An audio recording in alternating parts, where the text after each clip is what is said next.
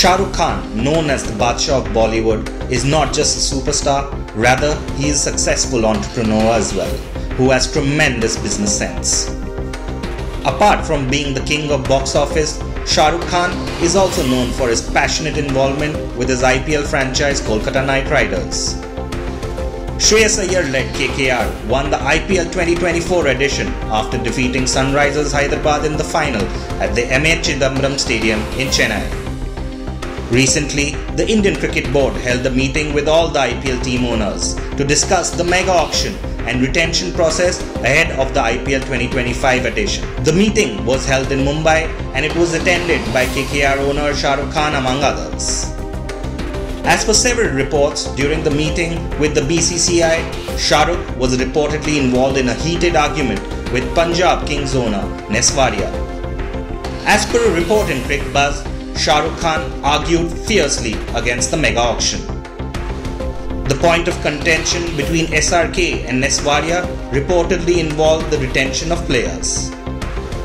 Speaking to Cricbuzz, Ness Wadia said, I have known Shah Rukh for more than 25 years. There is no animosity here. Everyone gave their views, they had their opinions. At the end of the day, you have to look at all the stakeholders and do what's best for all. That's most important. The report also stated that KKR found support in Sunrisers Hyderabad owner Kavya Maran, who said that her franchise wants a mini auction rather than a mega auction. After attending the IPL owners meeting, SRK also attended the birthday bash of Pathaan director Siddharth Anand. The Jawan actor was dressed casually in a black t-shirt, a blue jacket and a pair of blue jeans. He also wore sunglasses and was seen carrying a satchel. In the video, SRK appeared to be entering the restaurant from the back gate. The paparazzi followed King Khan until he entered through what looked like the restaurant's kitchen.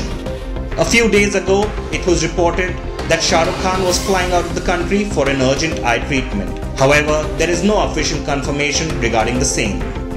Meanwhile, on the work front, SRK is currently working on Sujoy Ghosh's King. The film also stars SRK's daughter Suhana Khan. The film is being co-produced by Siddharth Anand. This will be Shah Rukh's first collaboration with Sujoy Ghosh.